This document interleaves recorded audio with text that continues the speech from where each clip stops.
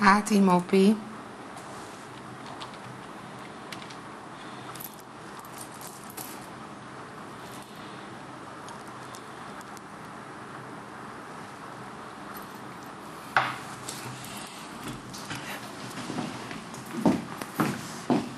Troost je.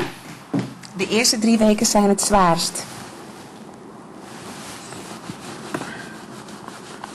Een nobel doel. Gewoon gezonder worden. I know. Ik wil, niet- ik wil niet afstuderen en eh, totaal kansloos zijn op de arbeidsmarkt, weet je. Nee, dat snap ik. Dat snap ik.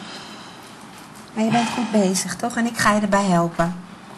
Ik weet dat ik het kan, want ik ben het ook allemaal kwijtgeraakt en ik ga je erbij helpen.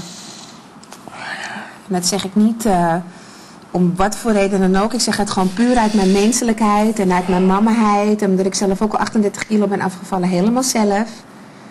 Dat ik je erbij ga helpen. Oké, we redden het wel.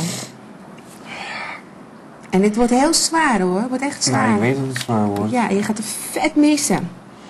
Ik heb het met mijn kindjes. Ik, ik heb net mijn ventje gebeld.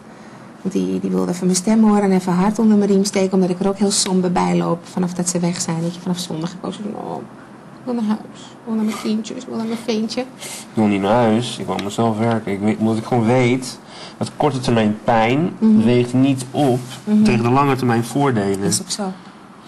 Want mensen hebben heel erg de neiging om zeg maar nu de impuls te volgen. Ja. Dat is ook de reden dat je te veel eet, gewoon die impuls. Maar het is gewoon stom. En ik weet gewoon van, ik heb gewoon veel mooie toekomst en veel meer te bieden als ik dit doe. Is ook zo. Dus daar moet ik ook mee doorgaan, maar het is gewoon pijnlijk. als ik heel het verhaal beschrijf. Ik Eh, weet het. Althans, ik kan me er iets bij voorstellen. Ik weet het niet, maar ik kan me er wel iets bij voorstellen. Omdat ik ook gewoon heel erg geneigd ben om mijn verdriet en mijn frustraties. Alles eet ik weg. Lekker. Ik heb niet helemaal geen zin om dingen weg te eten op dit moment. Totaal geen zin om te eten. Wat wil je dan, schat? Wat voel je dan? Vertel Ja, eens. nou, ik voel gewoon veel verdriet. Mhm, Veel pijn en frustratie. mhm, Ik moet hier nog eh, een draai vinden. mhm. Ik weet niet goed precies wat mijn rol nou is. Jouw rol, Ja. je bent er net, schat. Ja, dat weet ik. Mhm. Maar ja, ik heb, eigenlijk- ik heb gewoon eh, issues. Je hebt issues met jezelf. Ik heb ook issues met mezelf. Mhm, Ik kan onwijs gefrustreerd raken. mhm.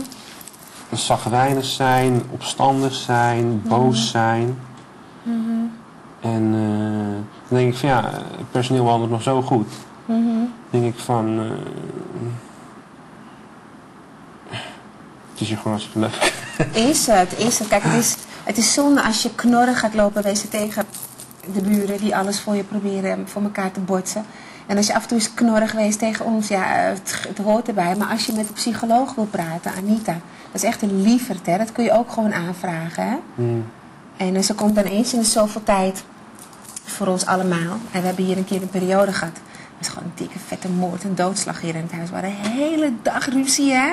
Echt alleen maar ruzie met elkaar. En eh, nog net elkaar niet door de gehaktmolen willen halen. Weet je, zo erg. En toen hebben we op een gegeven moment inderdaad Anita erbij gekregen. En dan...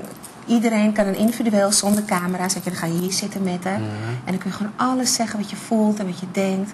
Maar als jij dat zou willen op een regular basis, dus vaker, kun je het gewoon aanvragen. Als je het nodig hebt, heb je het nodig. Hè?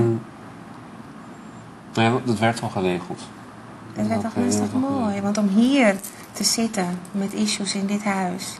Met zes andere gekken waar je zelf niet voor gekozen hebt. Dan is Ja, 9000 dan weet je eh, is. vierkant is klein hoor schat.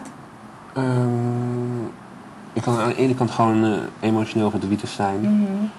De andere kant kan ik ook onwijs feesten, helemaal losgaan, lam gaan. Mhm. Ik ben gewoon moeilijk te verklaren. Dat is niet erg. Waarom ben je dat zeiden de buren nog. Ik kan je gewoon niet plaatsen en verklaren. Ja, ik daarom. zeg, daar wordt ook wel feest met mij. Ja, daarom ben je ook gekast. Hallo.